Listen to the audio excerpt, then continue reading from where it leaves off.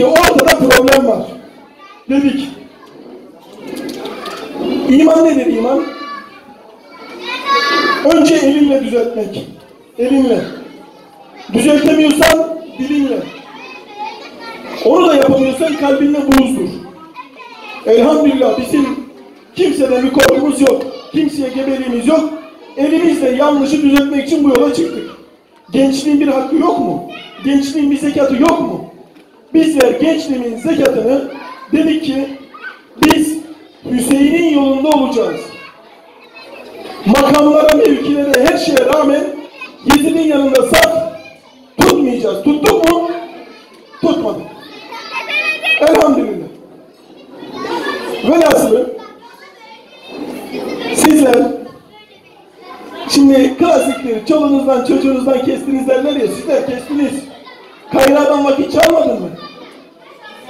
Değil mi? Kayrayı kimlere bıraktın? Ne gecemiz oldu ne gündüzümüz oldu. Kaçta eve gittin abi? Yenge hakkını bize helal etsin. Şimdi Süleyman kaçta gidiyordun eve? Gece gündüz çalıştık. Ama Allah rızası için çalıştık. Makam ve mevki bizim için öncelik değildi. Makamdan ve mevkiden biz bir şey beklemedik, talep etmedik.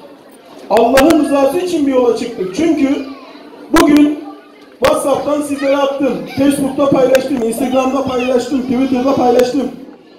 İnsanlar çöpten topluyor, çöpten çöpten. Diğeri de ejder meyvesinin suyunu anlatıyor.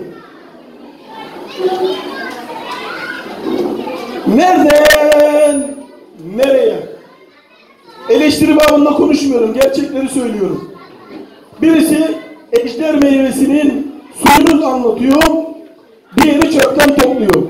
Çöpten toplayan ejder meyvesinin suyunu içenlerin içmesini sağlıyor. Onların yanında saf tutuyor.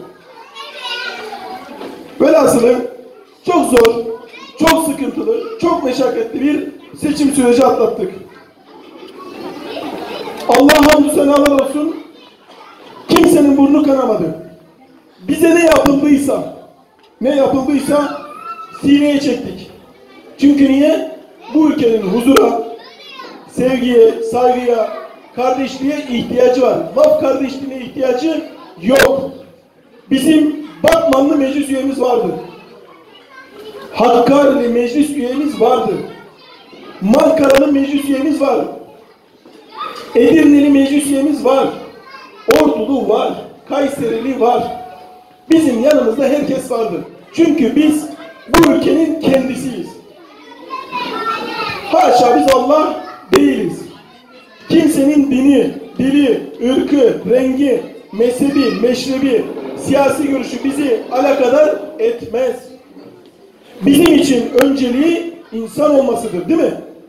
Biz Allah değiliz çünkü. Kimseyi yargılama yetkimiz yok. Tek bir şartımız var. Tek bir şartımız. Şanlı bayrağımızın altında yaşamaktan şeref duyacak. Tek bir şart. Birisiyle dostluğumuzu veya düşmanlığımızı